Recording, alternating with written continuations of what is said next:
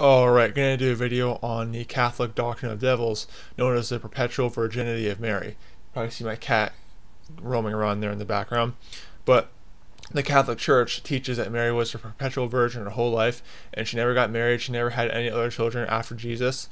Uh, let's see what the Catholic Church Catechism says on that, and compare it with what the Word of God, the Holy Scriptures, say. So this is paragraph 499 of the Catechism of the Catholic Church.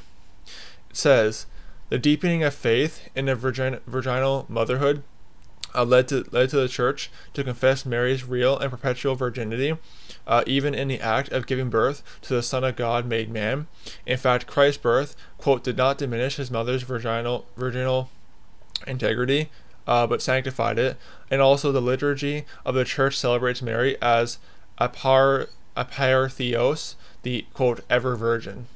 So they call her the Ever Virgin. Sorry if I had a hard time reading that thing. It's just hard to read, which you know couldn't, couldn't care less because it's not it's not God's word. It's man's tradition. But they call her the Ever Virgin. So they're saying she had no other children after Jesus Christ, and that she was a virgin her whole life and she never got married. Really? Let's see what the Word of God says about this. Turn to Psalms 69 verses 8 to 9. I am become a stranger unto my brethren, and an alien unto my mother's children. The zeal for the zeal of thine house hath eaten me up, and the reproaches of them that reproach thee are fallen upon me.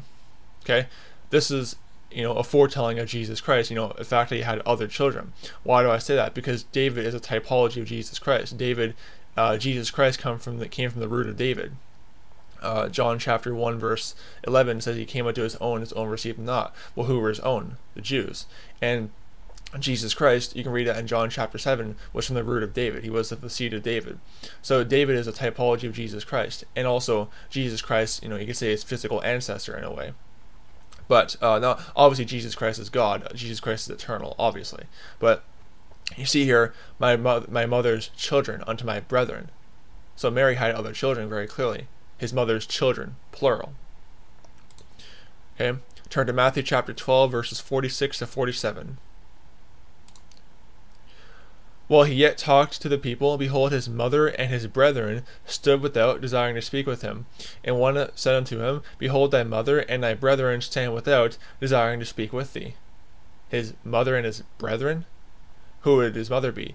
Obviously Mary gave birth to the physical body of Jesus Christ. Even, even the Catechism says that that she gave birth to him physically, but his brethren too. Um, how does a virgin have more than one? How does a, how does a virgin give birth? You know, because it was a virgin birth. If he has brethren, how does a virgin give birth to his brethren if she was not married? It's that simple.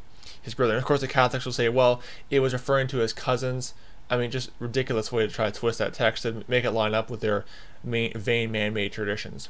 Turn to Matthew chapter 13, verses 53 to 56.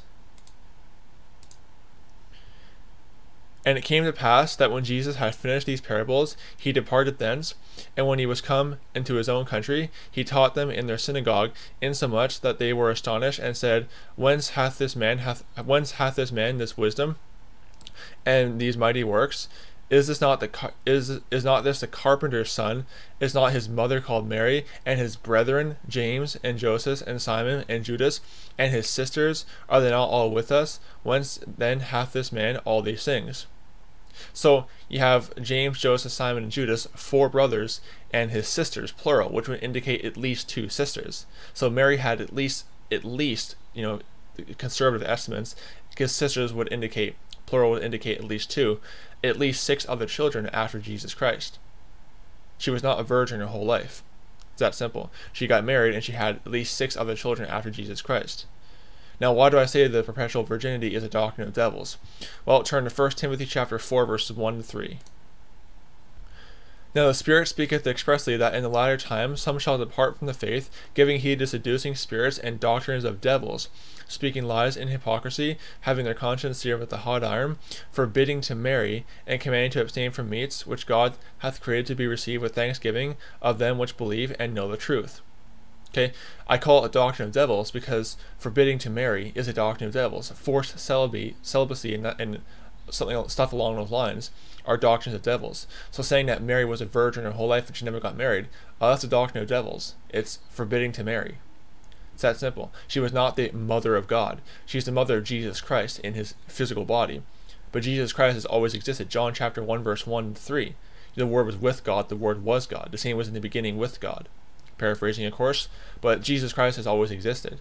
There's never a time where he was not in existence. Mary gave birth to his physical, you know, him him in the flesh, but he's not she's not the mother of God. Her Catholic, of course Catholics will say, well, we don't teach she is the mother of God eternally. But by calling her the mother of God, you are essentially saying that she is the mother of God. It's ridiculous.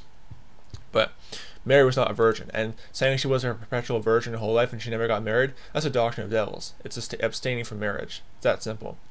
So don't be deceived by Roman Catholicism. They have set aside the Word of God for their vain man made traditions, which Jesus Christ rebuked the Pharisees for in Matthew chapter 15, verses 1 to 9.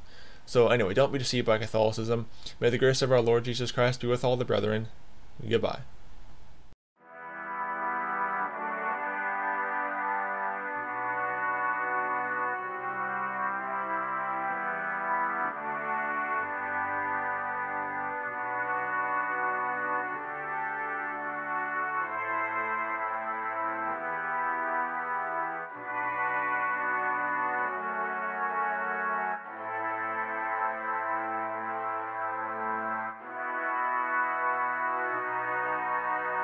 Música